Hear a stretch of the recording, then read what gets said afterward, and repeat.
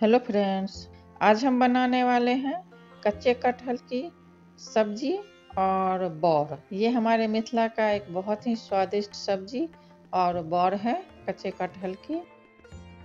Hello friends, मेरे channel गुलदस्ता में आपका स्वागत है।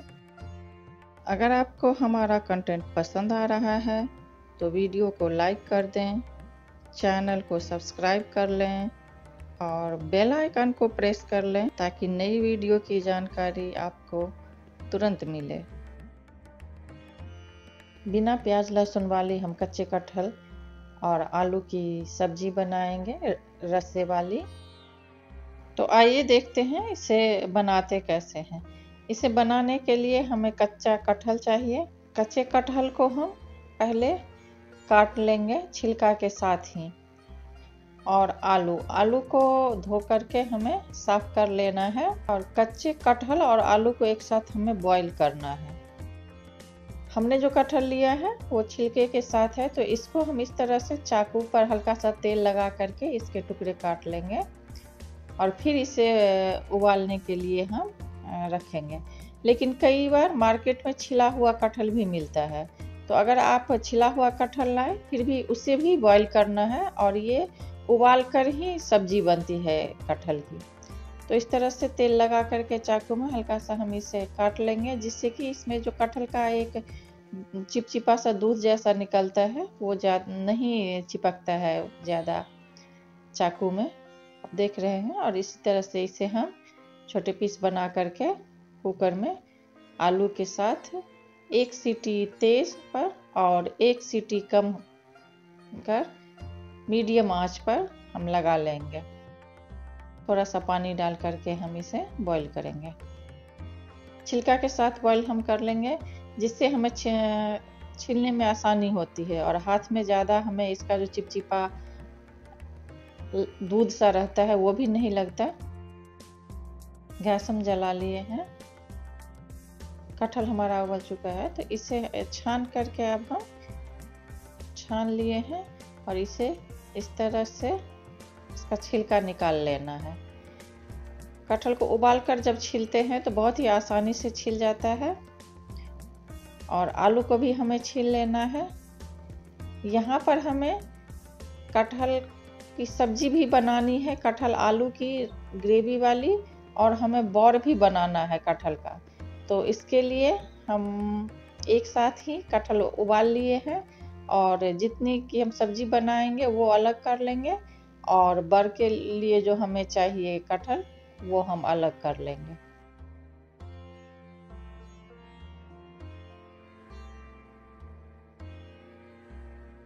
इस तरह से इसके छोटे पीस काट लेने हैं और आलू को भी छिल करके हमें छोटे टुकड़े काट लेने हैं।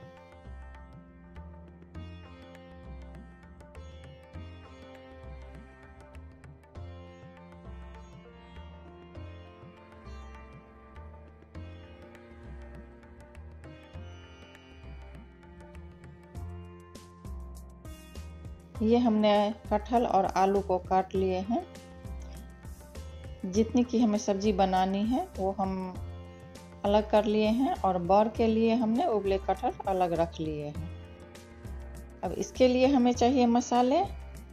दो बड़ा चम्मच धनिया पाउडर, दो बड़ा चम्मच जीरा पाउडर, लाल मिर्च पाउडर। आप जितना तीखा खाना पसंद करें, उसके हिसाब से एक छोटा चम्मच गरम मसाला पाउडर हल्दी पाउडर और नमक स्वाद अनुसार। फोरन के लिए चाहिए हमें तेज पत्ता सूखी लाल मिर्च पाँच फोरन और हींग। पाँच फोरन कैसे बनाते हैं और क्या है ये ये अगर आपको मालूम नहीं हो तो इसका वीडियो है हमारे चैनल पे। आ, लिंक हम डिस्क्रिप्शन बॉक्स में दे दिए हैं। होममेड गरम मसाला और पाँच फोरन कैसे बनाते हैं, वो वीडियो आप देख सकते हैं। तो आइए अब हम इसे बनाना शुरू करें। कढ़ाई हमने गर्म होने के लिए रख दिया है। पहले हमें आलू को भूनना है और कटहल को भी भूनना है। तो इसके लिए थोड़ा सा ही हम तेल यहाँ रखेंगे और तेल गर्म हो गया है तो आलू को पहले हम भून लेते हैं। चलाते हुए ही इसे हमें भूनना है। हल्का सा लाल हो गया तो अब हम इसे निकाल लेंगे। और इसी तरह से हमें कटहल को भी भून लेना है।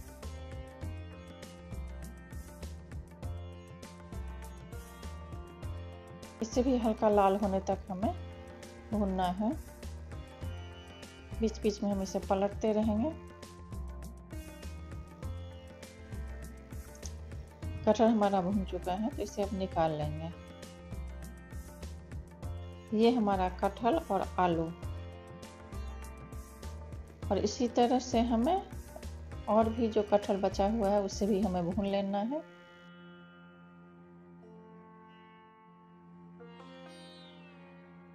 कटहल और आलू हमारा भून चुका है तो अब हम इसे, इसके सब्ज़ी बनाने की तैयारी करते हैं। तो इसके लिए हम यहाँ फोरन के लिए घी लेंगे।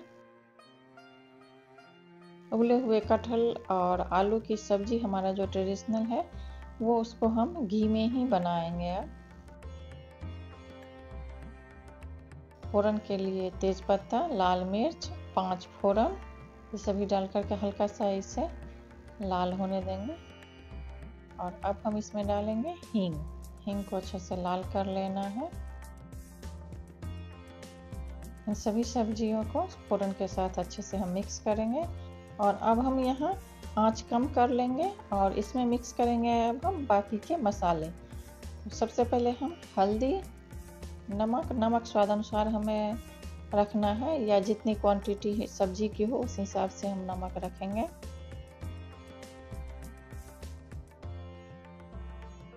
हल्का सा इसे हम मिक्स कर लेंगे और आँच को अभी हमें धीमा ही रखना है। अब हम इसमें जीरा पाउडर, धनिया पाउडर और लाल मिर्च पाउडर डाल करके इसे थोड़ी देर के लिए भूनेंगे। इसे अच्छे से मिक्स करके और बिल्कुल धीमी आँच पर इसे अभी हमें भूनना है। इसे अब हम ढक देंगे और एक से दो मिनट ही हम ढक करके रखेंगे। और फिर से ढक्कन हटाकर हम इसे चला लेंगे। इस तरह से हर एक दो मिनट के बाद इसे हम चलाएँगे और ढक्कन रख करके हम भूनेंगे ताकि हमारा जो हमने मसाले का जो पाउडर डाला है वो अच्छे से भून जाए।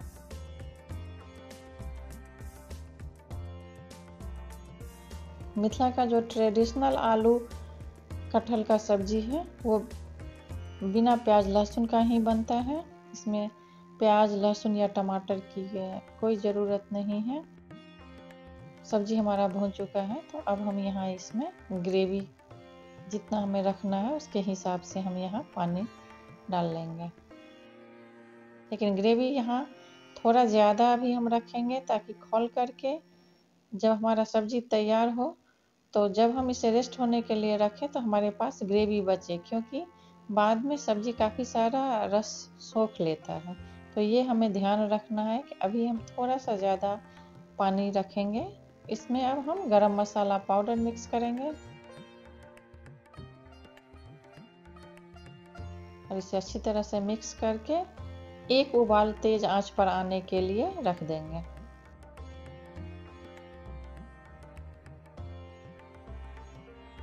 अब हम इसे ढक देंगे और तेज आँच पर अच्छे से एक उबाल आने देना है।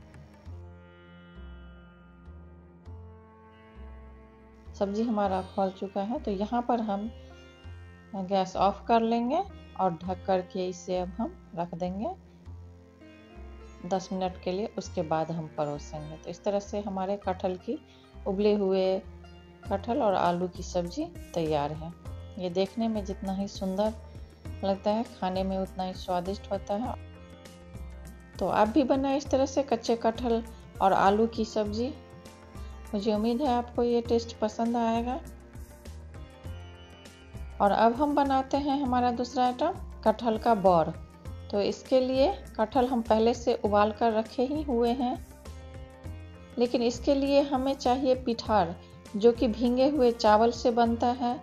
तो इसके लिए हम ये चावल लिए हैं, इसको अरवा चावल कहते हैं। सफ़ेद वाली चावल, ये बॉयल राइस नहीं है तो सफ़ेद जो कच्चा चावल मिलता है मार्केट में, वो लेना है और उसे इस तरह से पानी डाल करके कम से कम ढाई से तीन घंटे के लिए भिगोना है, ताकि जो हमारा पिठार हो, चावल का जो पिसा हुआ पेस्ट बने, वो बिल्कुल सॉफ्ट बने। करीब ढाई घंटा करीब हमारा हो चुका है तो पिठार भींग चुका है। तो अब हम इसका पानी निकाल लेंगे सारा। और इसे अब हमें मिक्सी में पीस लेना है। ये चावल जितने अच्छे से भींगा हुआ रहेगा, आपका पिठार उतना ही सॉफ्ट होता है।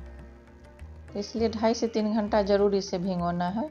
और अब इसमें थोड़ा सा पानी डाल करके हम पीस लेंगे। एक बिल्कुल ही थिक पेस्ट पीसना है। अभी हम बिल्कुल थोड़ा सा पानी डालेंगे इसमें। अगर ज़रूरत होगी भी इसे पीसते समय तो बीच में हम थोड़ा सा पानी और डालकर इसे एक थिक पेस्ट पीस लेना है।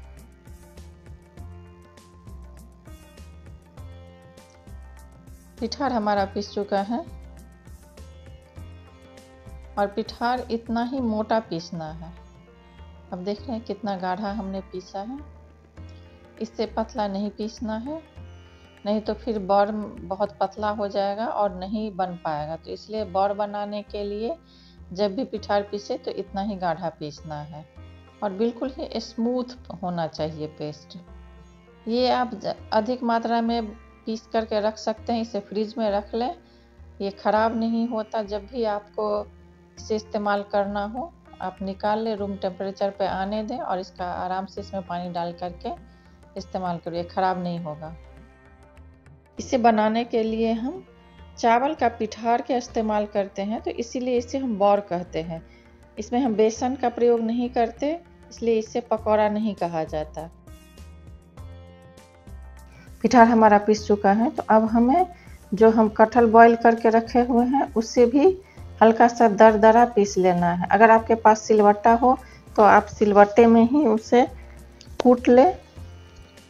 हम यहाँ मिक्सी में इसे मोटा मोटा टुकड़ा काट करके इस तरह से डाल दे रहे हैं और इसे एक या दो बार ही चलाना है। बिल्कुल मोटा इसे हमें दर दरा पीस लेना है।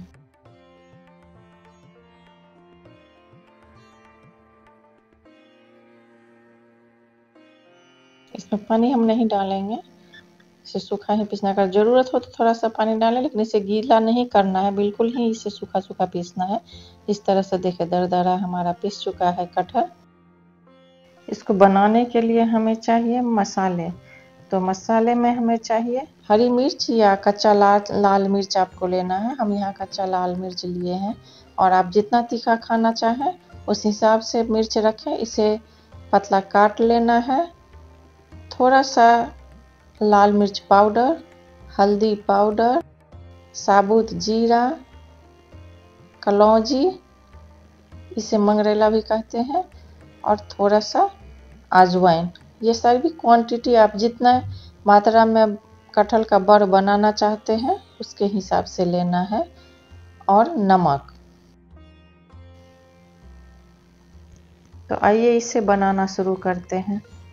कटहल हमने सारा पीस लिए हैं। तो इसमें अब हम डालेंगे पिठार, जो हमने चावल का पिठार पीस कर रखा है। पिठार इतना रखना है जिससे कि और जो कटहल का जो हमने उबले हुए कटहल को जो हम हल्का सा कुछ कर रखे हैं, उसे अच्छी तरह से ये बाइंड करे। बाइंडिंग का ये काम करता है।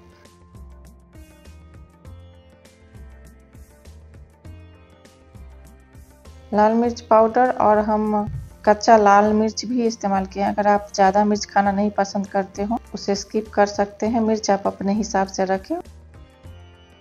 अब इसे अच्छे से मिक्स कर लेना है।